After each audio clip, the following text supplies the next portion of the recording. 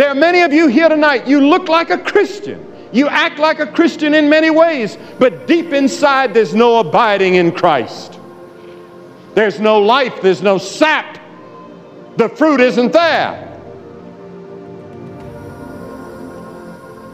Three ways in which we can be useless branches. One, you can refuse to listen to Christ at all. Second, you can listen and then render him lip service unsupported by deeds. Thirdly, you can accept him as master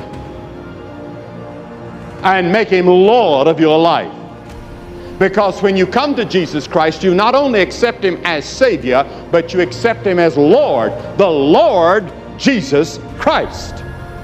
He must be Lord of your eyes, Lord of your ears, Lord of your tongue, Lord of your hands, Lord of your feet, Lord of your pocketbook, Lord of your bank account, Lord of your family.